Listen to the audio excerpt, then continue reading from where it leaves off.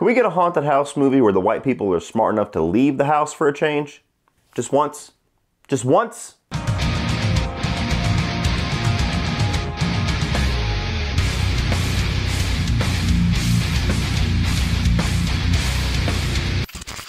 So Sinister tells a story of a true crime novelist who finds a collection of snuff tapes that have a tie to a pagan deity. Welcome everybody to another patron sponsored review. This one is brought to you and sponsored by Corey Costa, one of my loyal patrons over there on my Patreon page. If you guys are curious what my Patreon page is, it's actually a crowdfunding source. It's the best way and the most rewarding way to support this channel. You have certain tiers that you can subscribe to and get uh, exclusive privileges such as this one, which is a review request. So check down in the video description box below, please, for the link to my Patreon page if you enjoy what I do, if you enjoy this channel and want to find out a way that you can interact with it more, support it, and maybe even influence what I do on the channel. So check that link down below as well. And for those of you that may not want to join my Patreon, another great way to support this video and this channel is simply hit that like button if you enjoyed watching it and hit that subscribe button if you want to see more.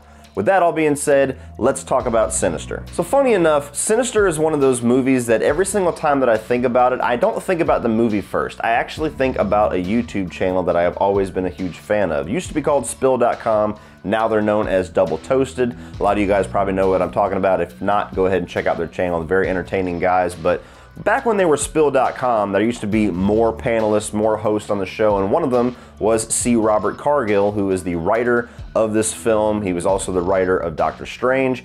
And at the time, it was a really cool thing because I was a follower of this site, I was a follower of this YouTube channel, and one of the Spill guys was actually getting a movie made. So whenever I went to go see this, that was my main draw to it was let's see what Carlyle, what he was known as, can do as a writer, and let's see what this movie Sinister is about. So Fun little fact, has nothing to do with the movie whatsoever, but I like giving these little personal ties.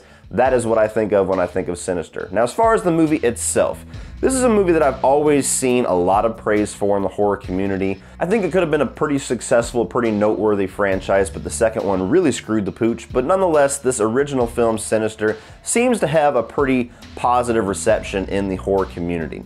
And while there are things about this movie that I like very much, overall, it's a movie that frustrates the living shit out of me for some of the things that I feel like it could have been much better without. So, with all that being said, let's get into the positives regarding Sinister. And the first thing is that I think the actual snuff films that Ethan Hawke's character comes across, those sequences where he's watching them, those are genuinely unnerving, those are genuinely creepy, and the way that they not only shoot these scenes and not only the creativity, the level of creativity that they have for these different kills where one family's drug into a pool, they're kind of chained to some lawn chairs. You have another one where a lawnmower gets run over people. You have another one where somebody is, you know, tied into a car and they throw a Molotov. Very creative kills. And I like that. Love the Carnage Candy. You guys know I do. But the sound design, the sound design, the noises, the background echoing, the music that they put into these sequences chills me to my freaking bone. And that is something that not very many horror movies can do with just sounds. I mean, I could literally just not even look at what's going on on the screen whenever these little snuff film sequences are happening, and just listening to the music in some of these scenes Yeah, that shit's fucked up. It could easily have just been a small little gimmick that this movie threw in for the sake of like, you know, callback to old archaic technology, you know, some of the throwback flavor that a horror film wants to go for once in a while, but they are genuinely the standout scenes in these movies. You think these are serial murders? I don't know. First one I found dates back to the 60s. And they're the scenes that evoke the most terror, the most, you know, edginess, the most tension. It's the scenes that really deliver the tone that they were going for with this film. Beyond that, I love Ethan Hawke. He's honestly one of my favorite actors. Every single time that this dude shows up, he delivers. He's never necessarily been like, you know, A-lister on the front of posters, getting roles left and right. A lot of times he shows up as a side character or kind of pops up into a movie as a little bit of a surprise, but this is one where he does lead it. He leads it well. And his character is very interesting. You have this guy who had a taste of fame where he was a true crime novelist that had this hit number one bestseller book, and now 10 years later, he's trying to kind of rekindle that fame. He's trying to basically force a hit out of himself by moving his family into the actual crime scene, by moving his family into a house where people were hung from their necks in the backyard to try to hammer out this novel, to try to taste that fame once again.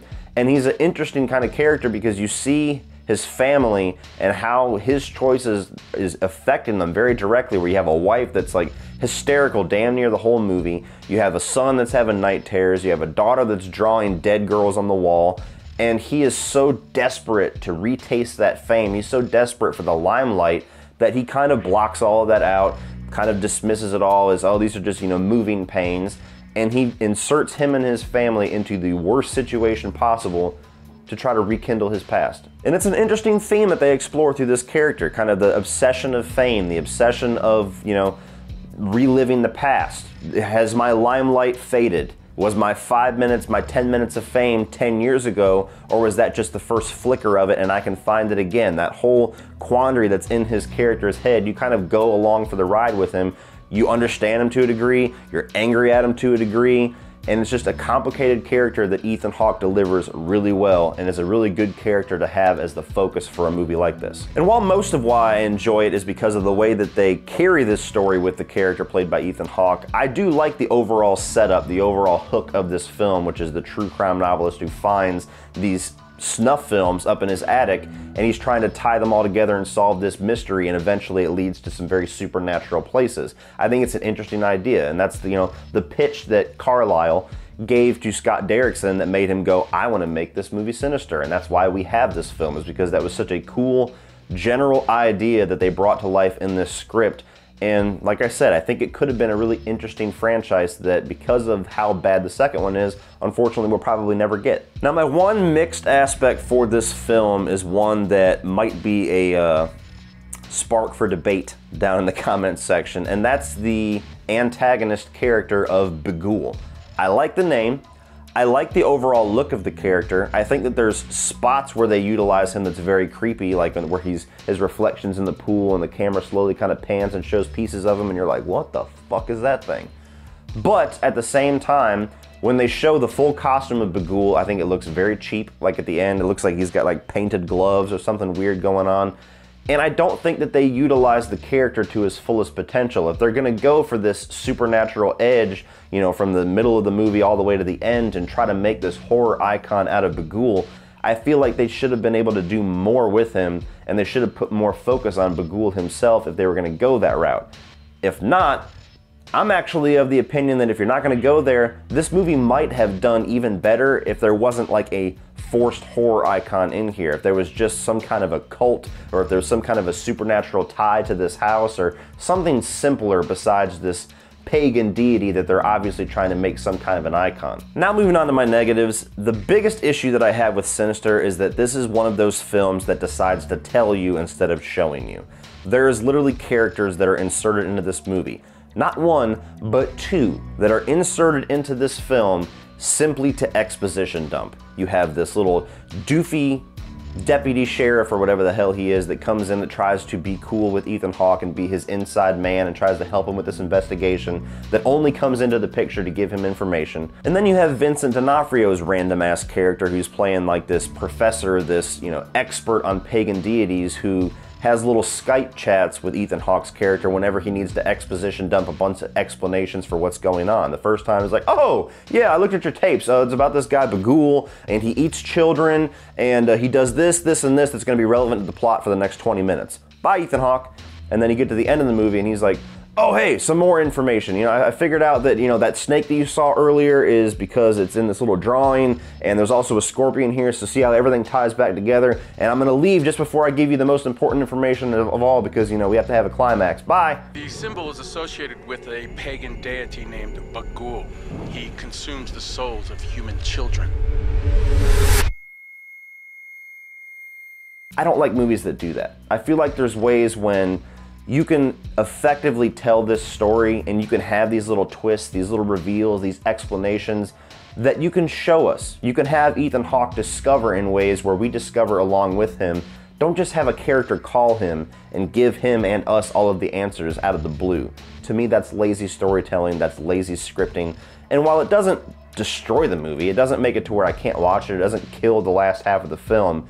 It just feels lazy every single time that I watch it. I'm like, why is Vincent D'Onofrio in this movie? I love you, Vince. I love you, Kingpin but you serve no purpose other than script convenience. I also feel like this movie has some very cheap and lazy scares. I think that the snuff films is creepy, and I think if they would have leaned more into that type of tone throughout the entire film, I would cherish this movie a lot more.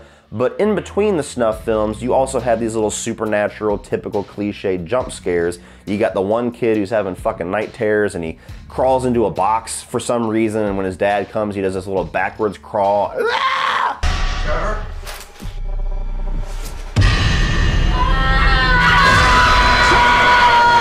And then you have the ghost children that are walking around, which I've always thought was a really goofy scene doesn't creep me out at all. Just the fact that they're like in slow mo and they're quiet, it's just, to me, this is not scary. This is distracting as shit. And even when he goes outside to get something and there's a dog, there's a random dog. And just things to me that are cliche horror. When this movie has really great ideas that rise above those cliche generic horror films then you throw that in. It's just pick a lane. Are we going for innovation or are we going for the cheap, you know, shit that we've seen a thousand times? And going along with that, this isn't like a separate negative, but it's just something that annoys me every single time I watch this film. What is the whole thing with this son having night terrors and climbing into boxes and going backwards and shit? Now, I'm not an expert on night terrors. If you are, is this shit that people that have night terrors actually do? But it's just strange to me. It, it would have made more sense if they had wove that into the plot somehow. Like maybe Bughuul was trying to torment this kid,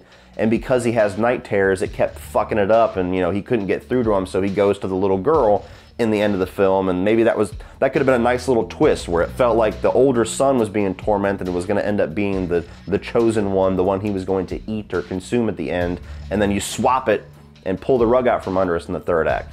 I'm just spitballing here. And my final negative, which admittedly is not this film's fault, it's not the director's fault or the writer's fault, but it does tie in with my experience of Sinister.